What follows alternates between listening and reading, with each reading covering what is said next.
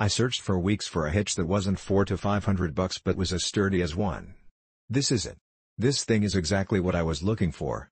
Put it on my GMC Sierra 2500 HD and it pulls more than my truck does. Just get it. I have used this hitch on our Kawasaki Mule, Kubota tractor, and of course, my GMC pickup.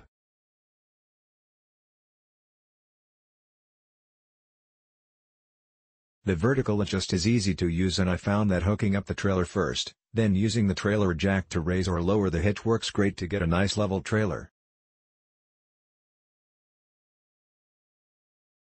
Be sure you use your wheel chocks and do the vertical adjustment on level ground.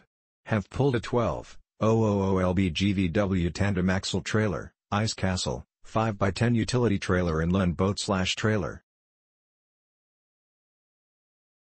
No more switching hitch balls and hitches for whatever the current need. It is expensive and heavy, but to my way of thinking well worth the investment.